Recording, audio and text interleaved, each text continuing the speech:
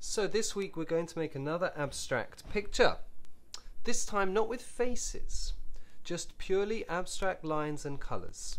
But we're going to listen to a piece of music while we do it. Not just any music. I want you to find a piece of classical music. So there's no singing, there's no words. There are just um, there's just the sound of the orchestra playing. Your picture might look something like this, or maybe like this, or like this. Of course, with an abstract picture, it can go, it can go any way around, can't it? Um, this is the way that I drew the picture, as you'll see when we get started. And I listened to a piece of music by Beethoven, a very famous classical composer, Ludwig van Beethoven. Um, but there's many composers you can choose from, and um, I'll uh, I'll put the I'll put some suggestions for you in um, in the description on this video. Um, perhaps you know of some already. I'm sure that many of you have heard of Mozart before. You've probably heard of Beethoven too. Perhaps you know some others.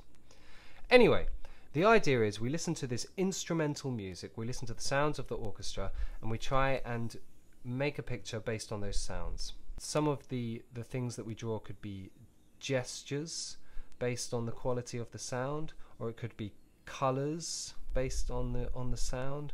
It could be shapes. Um, it, we can also draw lines that kind of last for the same length of time as a sound does. Um, so there there are a few different ways to approach this.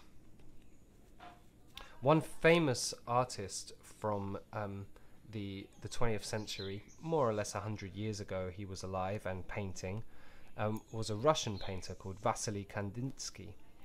And he made art that was um, like this, that was um, responding to sound. He made some really interesting, abstract, colourful paintings. So we're making our own kind of art inspired by by that painter Kandinsky and also inspired by a piece of music. Alright, so I'm going to get started with the example and um, then after you've watched that you can start your own piece. So when you've found a piece of music you like, you can get started.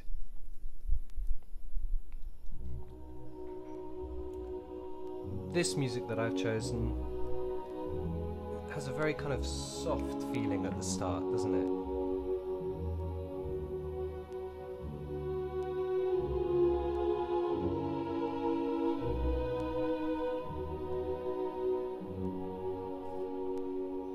So soft, smooth lines.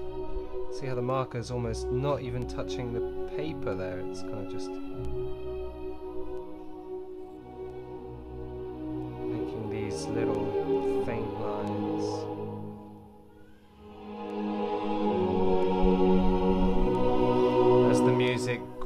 grows in intensity.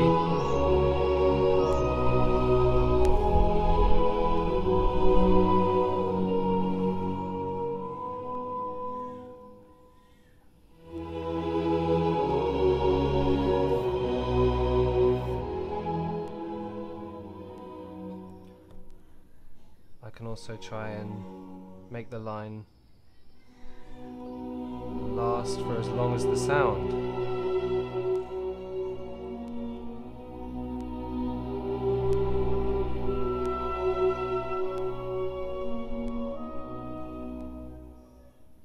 So sometimes the lines that I draw are kind of responding to the quality of the sound.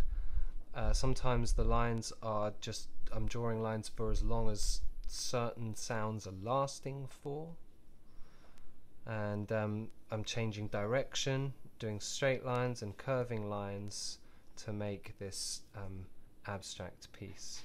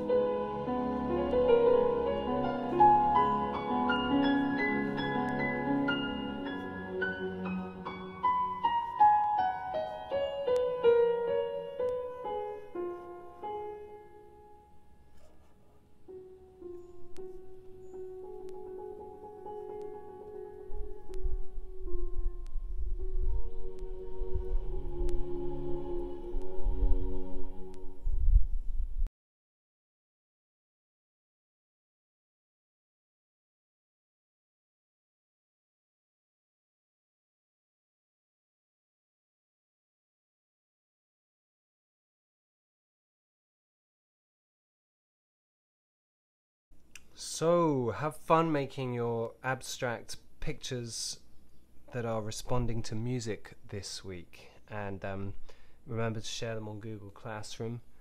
Um, I can't wait to see them. I hope they're all really different and interesting.